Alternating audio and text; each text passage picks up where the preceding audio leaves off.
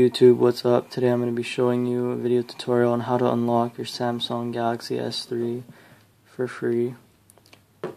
I've tried this and it worked, so let's go ahead and get started. You're going to want to go to your phone menu, then you're going to just dial in this number 1973286 four zero pound.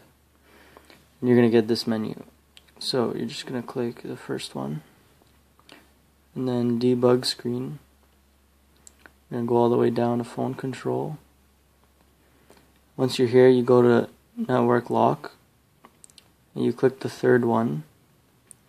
You're gonna want to wait for about 30 seconds. So you can skip this part of the video.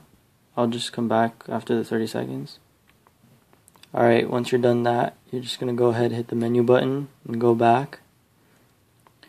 And then once you're here, you're going to click the last one.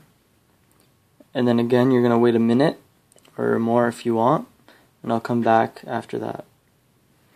Alright, once you're done, you're going to go ahead and restart your phone.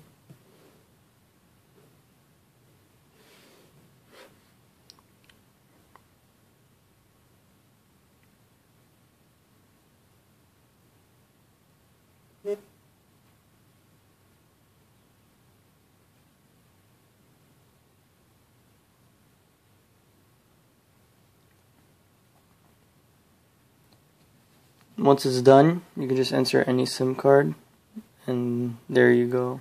It's unlocked. So, subscribe, be sure to like the video for more tutorials and I'll see you in the next one. Peace.